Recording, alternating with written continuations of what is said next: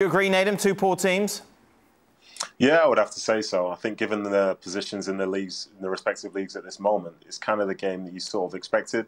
And interestingly, though, one of the broadcasters over here was showing the game. They said before kickoff, "Oh, United head into this as favourites because Atletico are having such a poor season domestically." And I thought, are we forgetting something here? and I think we kind of saw that in the way that that game panned out.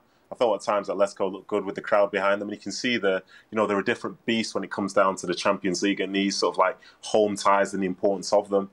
But then, you know, the game finishes one-one, and it's a flat, flat game, especially the way United play. And you ask yourself the question, like, is probably it would have been probably more of a surprise, I believe, if United played well. Because as I look back, when was the last time they were sort of gaining ahead of steam and they looked really, really good, whether it was under this manager or Solskjaer before. So you know, it's it's one of those games. They got something from it, which they'll be very happy with. But it's nothing to say that there's a guarantee that they'll win at Old Trafford either. Because the fact is, you know, this idea of yeah, they've got they've gotten a point, they've gotten the tie, and then the second leg should be fine in front of seventy thousand people. We've seen them lose at home, so the fact is, it's still very very open. Frank, we discussed on yesterday's show, didn't we, the fact that if there was ever a time to play Atletico Madrid, this is it. Given their form so far this season, Manchester United made them look world class like in that first half, which is such an indictment, surely, on Rangnick, his tactics, and the players. Yeah, I have to agree with all the all my colleagues, and uh, and and you're absolutely right. You know, I'm, i was wondering, you know, what was the plan, as Ali said, of Manchester United, and uh, I I felt that there was a plan from Atleti and from Simeone, where Lodi was the key man, in fact, on the left side, uh, because he was becoming the fifth uh, defender defensively, but also uh, a, a, wing, uh, a left, a left wing on the uh, on the offensive uh, aspect of the game, and he made that difference. And in fact.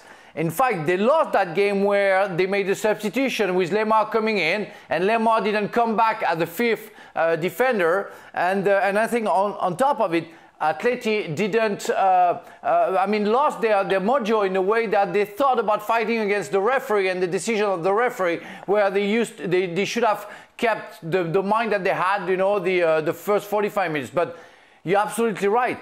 Manchester United made them look good the first half, where the whole season they were very average, I would say. And Manchester United did draw that game because of the mistakes of Atletico, not because of their talent. Because I didn't see anything good coming from uh, Manchester United. That was very an appalling uh, uh, performance today from uh, from uh, the Red Devils.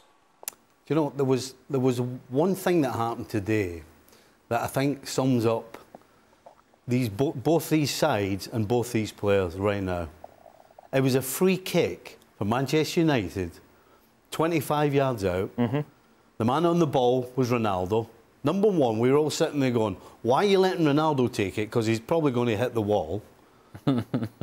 and you look at the wall, and Griezmann is lying, sitting on his backside behind the wall. I mean, five years ago, two players who had had the football world at their feet, and we're watching one of them lying behind a wall, and the other one taking a free kick that we all knew was only going to end up, well, either one in the wall or two where it did, way high over the crossbar. I know some of the tweets we're going to get, Ali. What's that? Because I know Twitter and social media oh, will say... Stay hey, up with it then. Wait a minute, after PSG beat Real Madrid, you're all critical of Lionel Messi. Will you be as critical of Cristiano Ronaldo? Yes. of, of, course. Why not? We don't discriminate.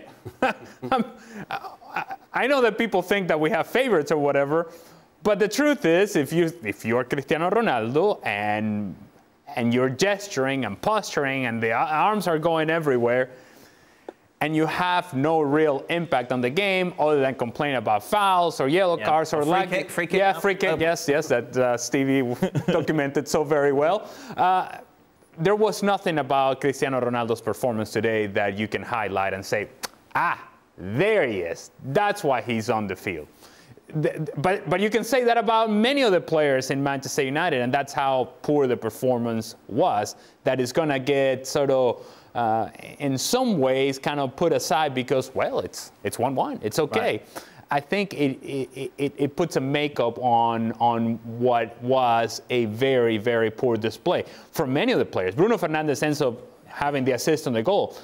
But up until that point, it was turnover after turnover. And worst of all, worse so than the turnovers, is the fact that defensively, he doesn't give you any help. In fact, he takes you uh, makes Manchester United so disorganized defensively. He goes and gets the ball from center backs and then goes to the right and then goes to the left and appears everywhere. But defensively, he's not appearing anywhere. There's a hole there for Manchester United. They don't control the midfield, they don't control games. And mind you, this was an Atletico Madrid team who Antoine Griezmann came off the bench because he's been injured for six weeks. Yeah. Koke out injured, team captain. Yannick Carrasco, perhaps their most dangerous player down the left-hand side, out because he was suspended. All sorts of absences. Luis Suarez didn't even come on the field because he's carrying an injury as well. All sorts of absences from Atletico Madrid, and still they were far the better team and deserved more out of this game. Thanks so much for watching ESPN on YouTube. And for more sports highlights and analysis, be sure to download the ESPN app. And for premium content and live streaming, subscribe to ESPN Plus.